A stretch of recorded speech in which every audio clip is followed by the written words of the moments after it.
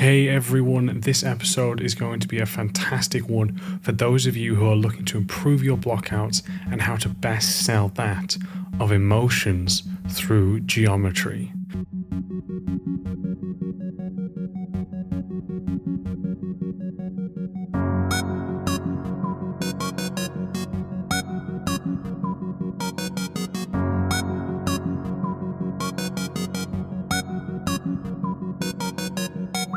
Hey everyone, I hope you're well, playing and are making the games that you all love.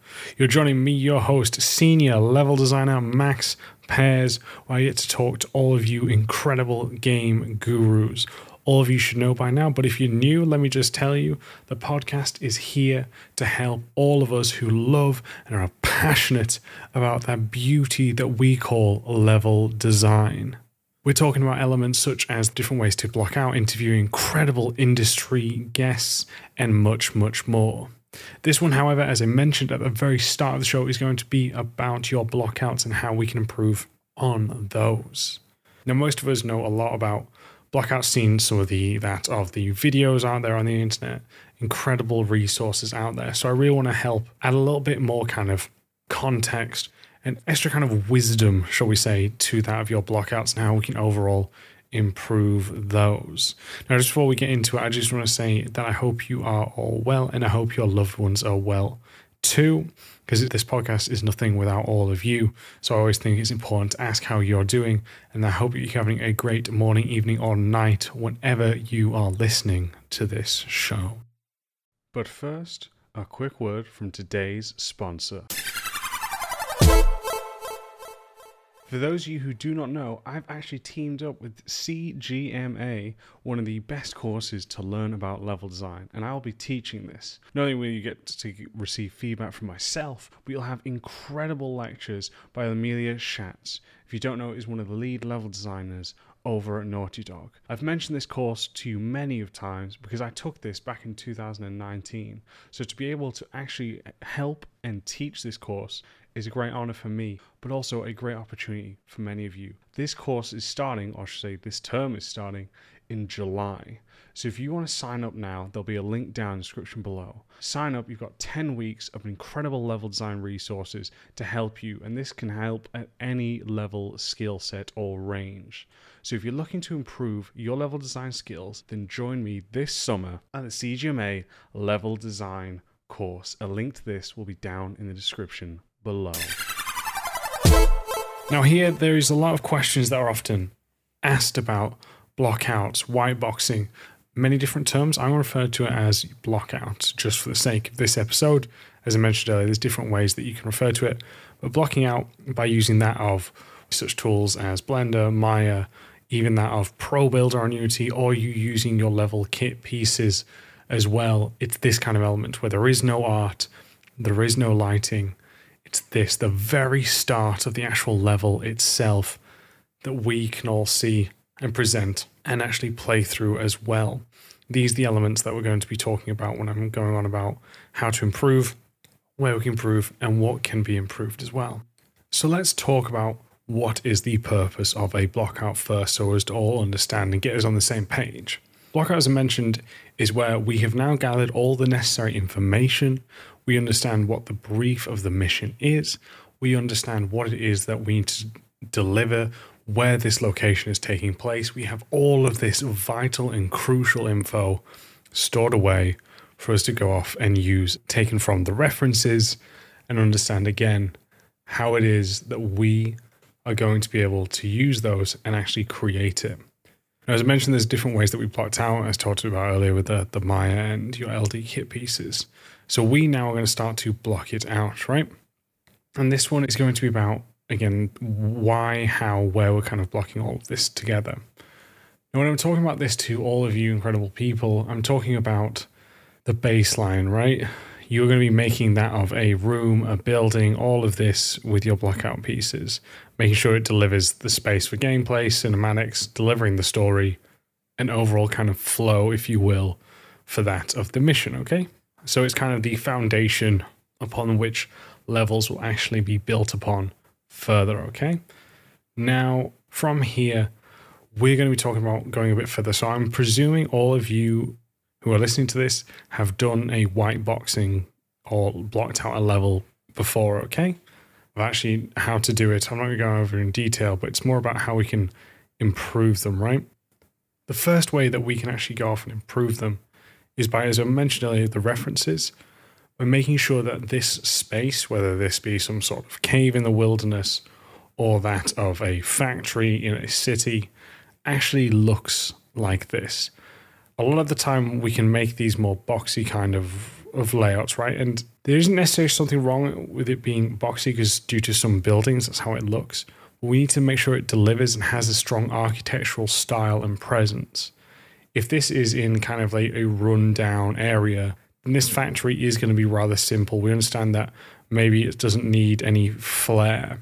But if it's kind of in a more rich, high end kind of spot, then there's going to be more flourishes around that kind of architecture. So we need to make sure that it has that, whether that being sort of curved walls, angled walls, certain sort of structural supports. These elements should be considered, right? Because a lot of time, especially in open world games, there's going to be a lot of buildings that players won't ever be able to actually visit or go through, okay? So you need to make sure that it's clear, again, what the building actually is, and that it is going to be one that catches the player's eye to make players want to actually go in and visit this area, okay? So when you're doing this, sell this. Imagine we're creating that of, say, like a, a greenhouse, right? Now, at first, you may want to just use your your building blocks, right? It's important to use those, so you want to use it. But if we just use those building blocks, it could end up looking or feeling like a bunker because it doesn't have any way for light to pass through and go over to feed and grow the plants that you find in some sort of greenhouse. So that way we need to make sure that although it is to metrics, so you may want to start with just the first building blocks of making it, it may look bunkerish, but you're starting out to get the metrics right. But then you want to go off and revisit and then change it to maybe a glass facade. Simple thing like that will help sell again the vision.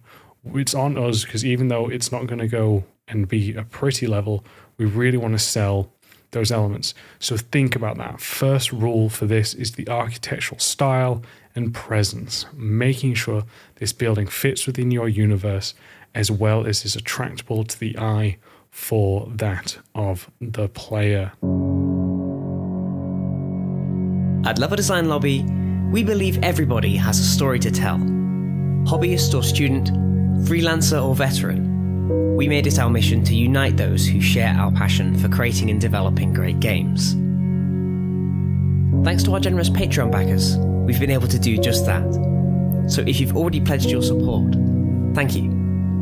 If not, you too can ensure the future of Level Design Lobby, helping us to create even more exciting content, collaborations, interviews, and much more.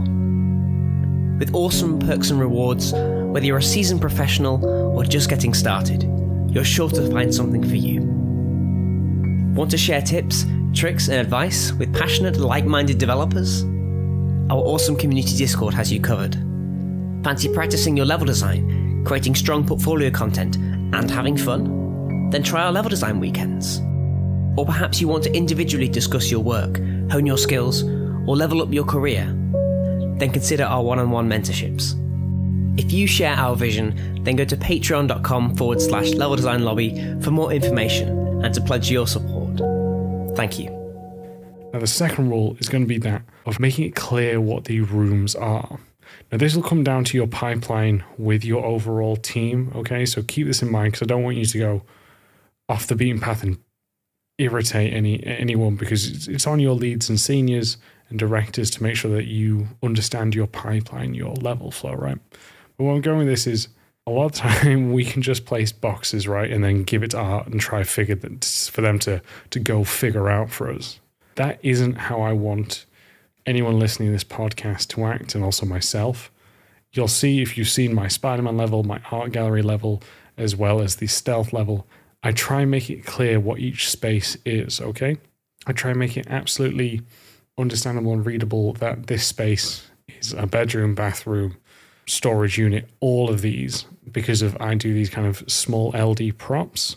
You know, they match the same color as the building blocks that we have, but maybe they're a little bit more detailed than the average one.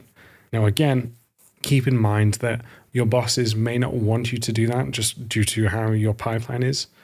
But if you have some freedom, go into those elements, sell that space.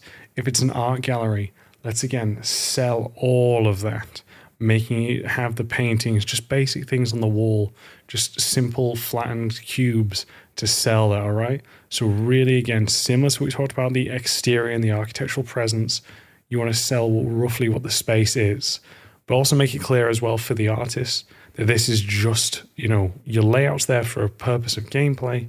But to the artist, you know, if they want to modernize or make it look more kind of run down, they have the freedom to do that. So again, sell and make it clear what each space actually is for that of the player. Now here comes the more kind of details, the more nuanced elements to focus on to help raise your actual block out itself, okay?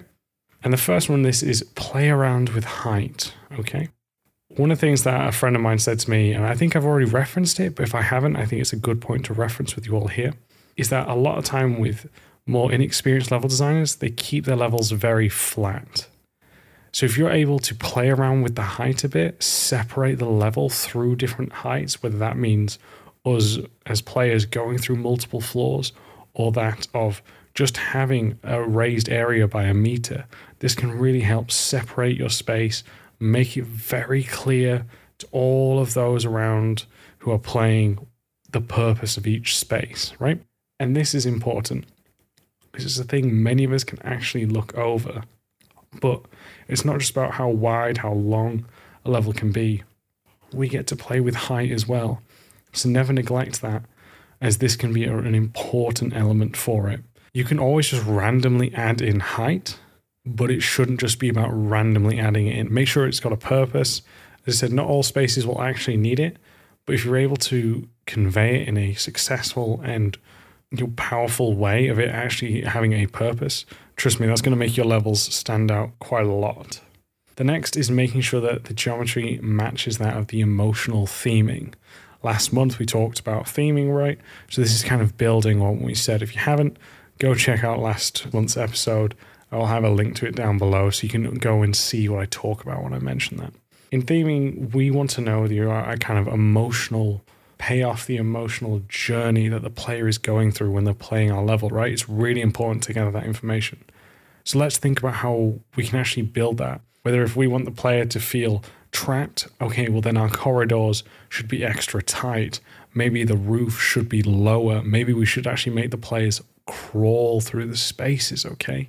By changing these elements, you can instantly start to create an emotional reaction out of players.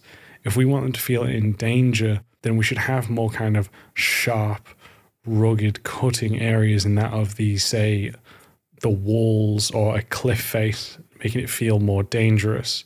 If we want the player to feel safe, then maybe instead of 90 degree angles, we can have more of those soft curved walls again, making the player feel that they are gently being guided instead of just a harsh turn.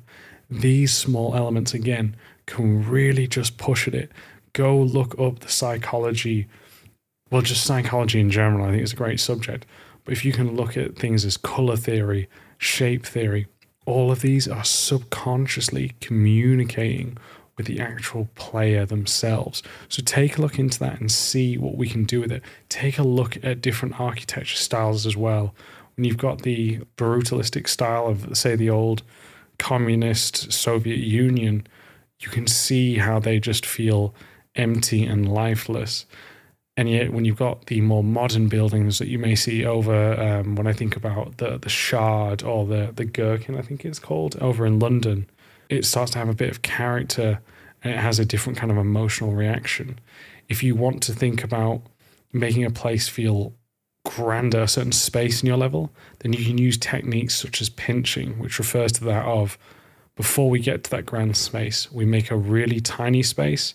So that way, instead of we're going from one big space to another big space, where everything feels the same, if you have one big space, a small tiny space, and then a big space, it makes that reveal feel even bigger than before. These elements, again, small little things, can go and improve your levels tenfold by much more thought process put into the actual motion through it too.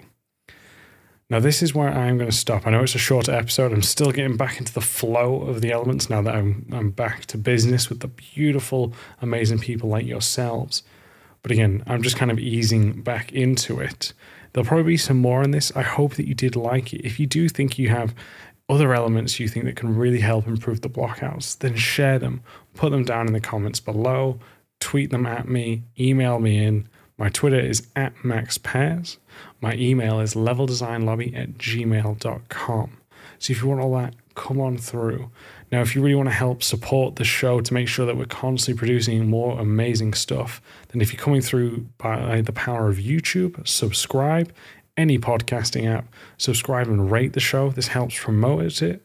And if you want to help even further, then please head over to patreon.com forward slash level design lobby. All of that will be down in the description below. So thank you all very much. I hope you've taken away a few good elements to help go off and actually improve your blockouts. I really appreciate each and every one of you. Take care, and I will catch you all next time.